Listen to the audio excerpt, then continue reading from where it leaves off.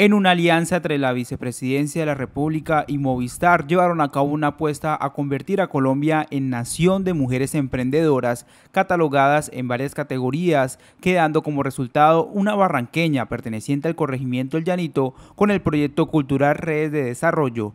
Lais Pontes, ganadora de este premio, relata cómo fue su experiencia al presentar este trabajo.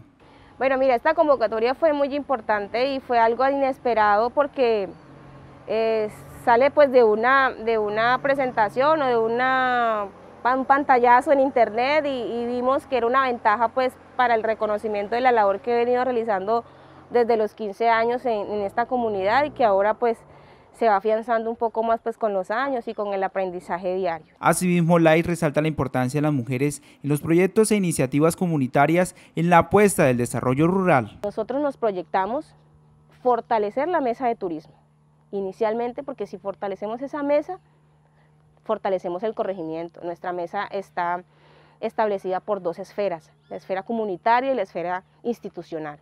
Y entendimos que cuando se trabaja en equipo, de una manera articulada, las cosas se pueden dar. Eh, Hoy esta barranqueña invita a toda la comunidad a demostrar esta apuesta que benefician a todos los sectores en pro de aportar al desarrollo de las personas invitamos a las instituciones a que se unan a este proyecto que promueve la tecnología, promueve la innovación, promueve la recuperación de la pesca artesanal, de que vean en el corregimiento del Llanito un pueblo que necesita una transformación real, que no necesita fachadas, que necesita que los habitantes se les reconozca todo el tiempo que llevan viviendo en un sector petrolero. La convocatoria abarcó todos aquellos proyectos a nivel nacional que demuestran al menos un año de funcionamiento interrumpido. Este año, el premio se encuentra dirigido a iniciativas que se desarrollan en zonas rurales del país, generando un impacto positivo en su comunidad.